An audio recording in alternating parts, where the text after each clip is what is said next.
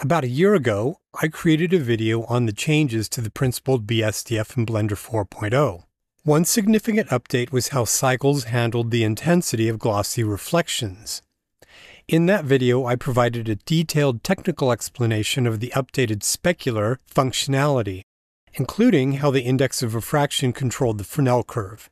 However, over time I've received feedback that it's too technical for some viewers. So in this video, I'll give a simpler explanation and easy to understand examples of the IOR level functionality.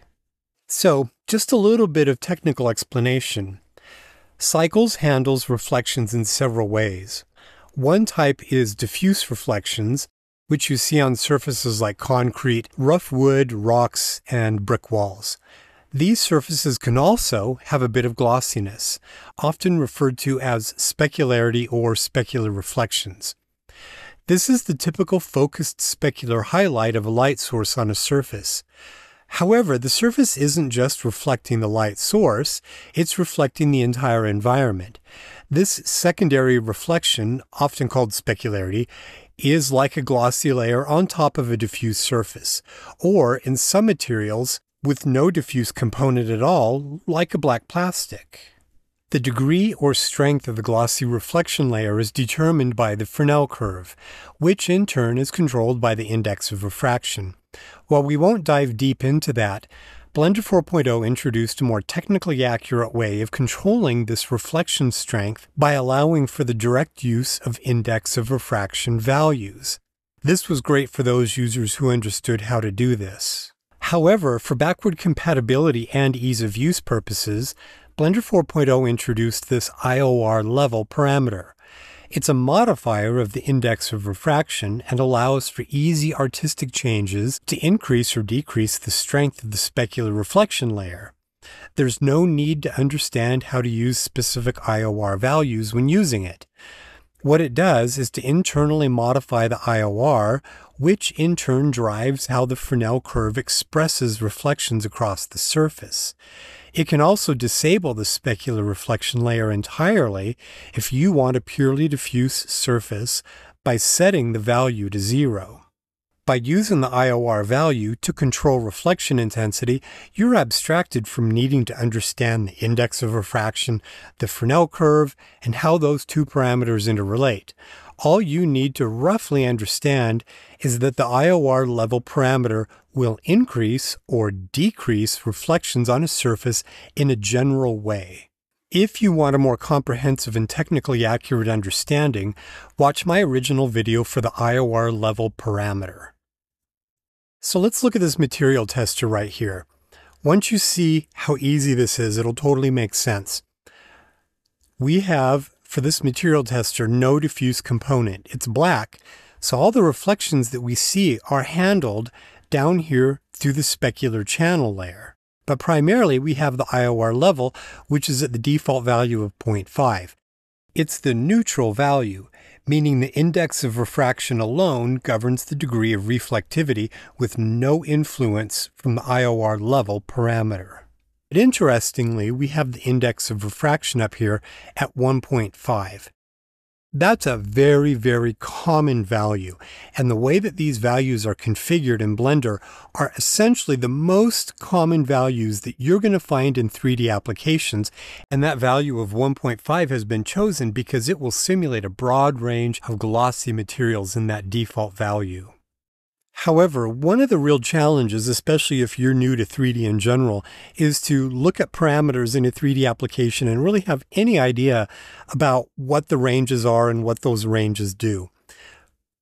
In Blender, typically we have ranges that go from 0 to 1, but the index of refraction up here actually can go from 1.1 all the way up to 70, but the most common range values that you're going to use are between 1.2 and 2.0 increasing or decreasing between those ranges increases or decreases the reflectivity across the general broad range of the surface as you're looking straight onto it. We're not even going to touch the IOR values. You could completely forget all of that and come down to IOR level and control the strength, either increasing or decreasing, of the reflectivity broadly across this surface by increasing this value towards 1 or decreasing this value towards 0 to get that kind of an effect. And so that's what the IOR level does, is it changes the intensity of glossy reflections of what we call low incidence parts of a model. So let's take a look at one scenario here with this material tester where you could really use that IOR level to adjust the intensity of the reflections. A very common thing to do in 3D renderings, especially safe for interiors, is to adjust the exposure of the scene. In this example, my exposure is at the default value of 1.0, but let's say that we had the exposure turned up to a value of 3.